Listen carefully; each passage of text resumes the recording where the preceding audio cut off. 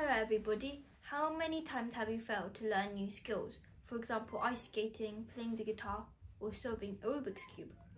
You probably gave up because of the 10,000 hours rule. You couldn't commit to so many hours.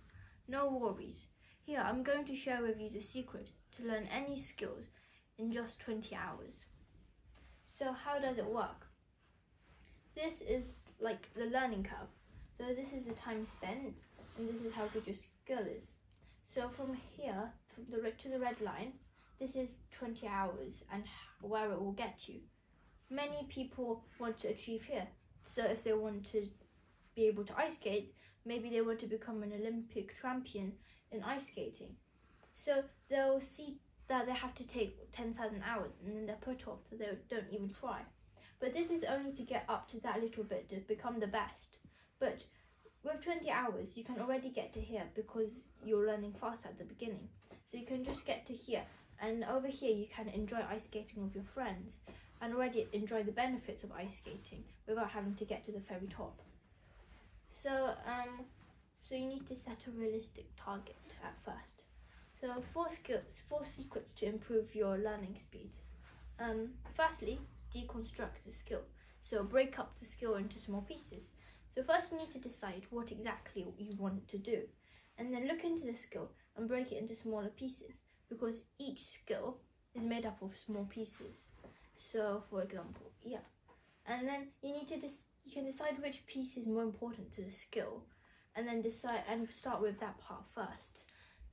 So then you can um, make the amount of time you spend learning the skill more efficient. And the second Secondly, uh, learn enough, learn just enough to correct yourself. So you can get three to five resources, for example, books or movies, videos, and then, but don't get too much. So don't get 20 books and then just say, I'm only going to start when I finish reading these books, so then I have enough knowledge. And get started straight away because that is also um, a type of procrastination. Just you have to just learn enough to correct yourself. So when you're actually working, you know when you've made a mistake and how to correct it. Um, thirdly, remove practice barriers. So remove distractions like um, video games or TV or the internet and things that will get in the way of you actually practicing and doing your work. So you need to use a little bit of willpower to get rid of those things and concentrate. Um, fourthly, practice for at least 20 hours. When you start learning something new, you won't know anything about it. And feeling stupid or bad at something is a barrier to you actually doing the work. And if you pre-commit to practice the skill for at least 20 hours, you'll overcome that initial frustration barrier, which will help you get started. Uh, I hope you learned something from today. Um, bye bye.